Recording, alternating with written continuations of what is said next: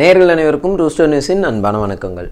தன்னுடைய பதிமூணு வயது பொண்ணு கெட்டு போகிறதுக்கு பெத்த அம்மா அப்பாவே காரணமாக இருக்காங்க அந்த சம்பவத்தை பற்றி தான் இந்த வீடியோவில் நம்ம பார்க்க போகிறோம்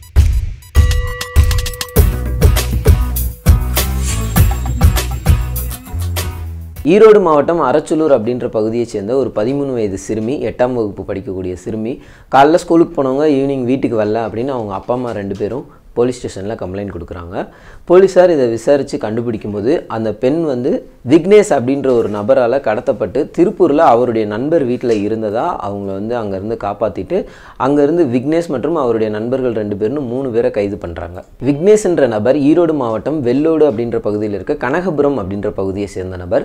இந்த நபர் தான் அந்த பதிமூணு வயசு பொண்ணு படிக்கிற ஸ்கூலில் வேன் டிரைவராக வேலை பார்த்துட்டு இருக்காரு வயது பத்தொம்போது இந்த விக்னேஷ் ஸ்கூல் பிள்ளைங்களை வேனில் டெய்லியும் காலையில் பிக்கப் பண்ணிட்டு திரும்ப ஈவினிங் வந்து ட்ராப் பண்ணுறது தான் வேலை. அப்படி வரும்போது அந்த பதிமூணு வயது சிறுமியை தான் கடைசியாக ட்ராப் பண்ணுவார் அப்படின்னு சொல்லப்படுது. அந்த பதிமூணு வயது சிறுமியோட கையில் மொபைல் ஃபோன் வச்சுருக்காங்க. அந்த மொபைல் நம்பர் வந்து விக்னேஷ் வாங்கிக்கிறாரு. அவங்களுக்குள்ள ஒரு சிறிய பழக்கம் ஆரம்பிக்குது ஆரம்பத்தில்.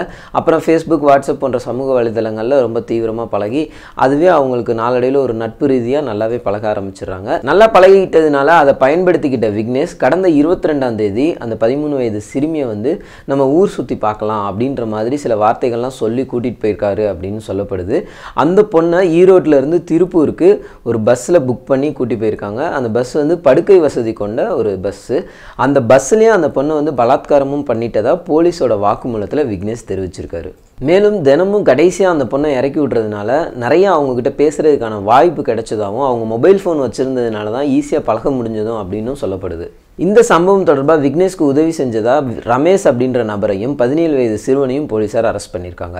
இந்த விக்னேஷ்க்கு வயது பத்தொம்போது ஆனால் ஏற்கனவே ஒரு மைனர் பெண்ணை லவ் பண்ணி கல்யாணம் பண்ணிவிட்டு அந்த பெண்ணுக்கு இப்போ தான் பதினெட்டு வயசு முடிஞ்சு ஒரு அஞ்சு மாத கை குழந்தை இருக்கதாகவும் சொல்லப்படுது. பத்தொன்பது வயதான விக்னேஷ் ஏற்கனவே ஒரு ஒன்றரை வருஷத்துக்கு முன்னாடி ஒரு மைனர் பெண்ணை லவ் பண்ணி கல்யாணம் பண்ணியிருக்காரு. அந்த பொண்ணுக்கு இப்போ தான் பதினெட்டு வயசு முடிஞ்சிருக்கு. அவங்களுக்கு ஒரு ஐந்து மாத கை குழந்தையும் இருக்கிறதா சொல்லப்படுது.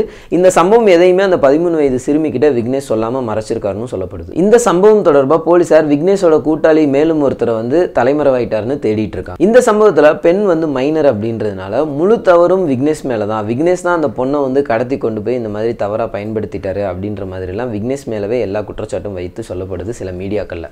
ஆனால் இந்த பொண்ணு மேலேயும் தவறு இருக்குது நம்ம ஒத்துக்கிட்டு தான் ஆகணும். அதை விட ரொம்ப முக்கியமான காரணம் அவங்க அப்பா மேலே இருக்கக்கூடிய தவறு.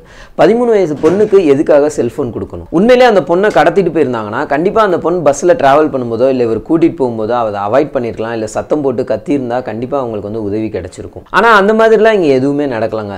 மொத்தத்தில் இந்த சம்பவத்தில் செல்ஃபோன் அப்படின்ற ஒரு விஷயத்தினால தான் இந்த பெண் பாதிக்கப்பட்டிருக்காங்க. அதில் எந்த விதமான மாற்று கருத்துமே கிடையாது. இதில் குற்றவாளிகளுக்கு சரியான தண்டனை கிடைச்சாகணும். ஆனாலும் ஒவ்வொரு பெற்றோரும் ஒவ்வொரு தடவை நடக்கக்கூடிய இந்த மாதிரி சம்பவங்களை விழிப்புணர்வாக எடுத்துக்கோங்கன்னு நம்மளும் பல வீடியோக்களில் சொல்லியிருக்கோம்.